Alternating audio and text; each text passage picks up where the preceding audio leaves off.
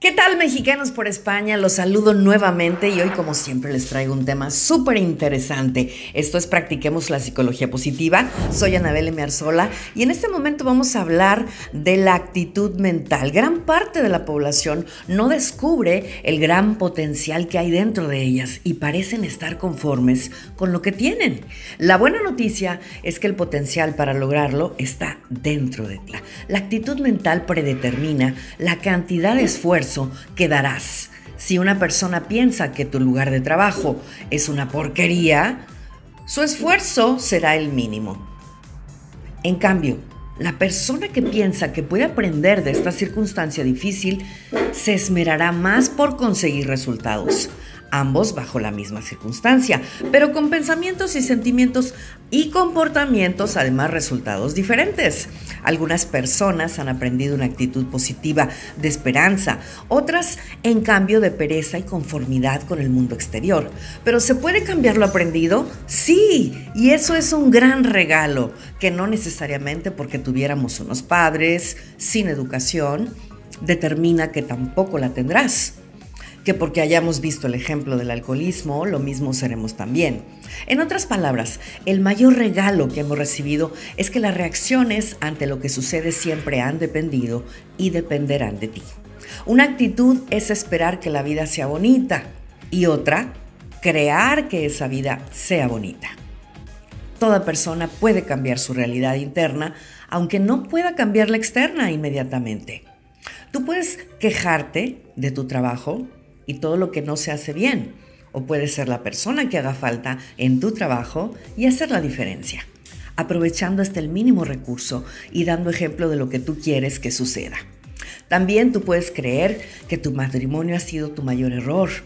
O puedes comenzar a reflexionar sobre las cosas que quizá has dejado de hacer, en lo que tú has fallado y cómo puedes dar paso para volver a recuperar con el ejercicio, que yo llamo el ejercicio el peor de los casos versus el mejor de los casos. Así que comparto este ejercicio que aplico en mis conferencias, en mis webinars de actitud mental positiva para grupos de trabajo en empresas e instituciones.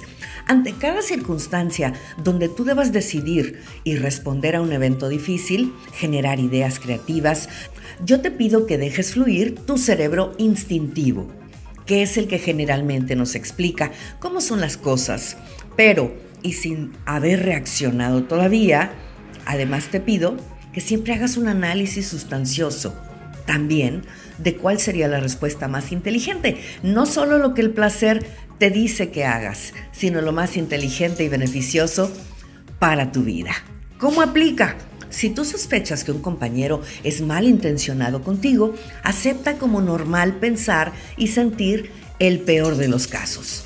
Y sentir el deseo de llegar y gritarle todo lo que se merece. Pero alto, el reto y el esfuerzo es que cuando esa parte haya fluido en tu mente, posteriormente, antes de actuar, también pienses en el mejor de los casos.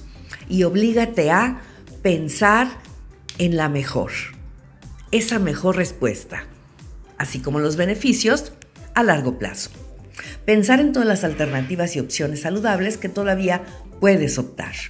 Pensar en qué haría la persona más inteligente y cómo tú puedes hacer la diferencia y sobresalir y ser respetado por tu correcta conducta.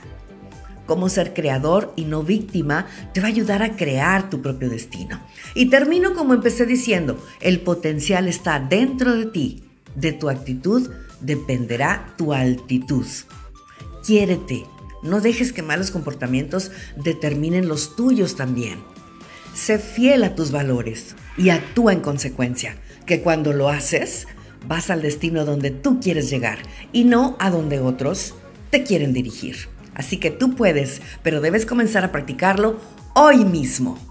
Así que gracias por escucharnos y te invito también para que participes y nos cuentes tus dudas y opiniones y a compartirlo con quien tú creas que puede ayudarle o interesarle. Te espero en la cuenta arroba anabelmx en Instagram. Y en este momento te envío muchos abracitos conscientes y que disfrutes de esta temporada de frío. Toño, regreso contigo a cabina. Todo mi cariño.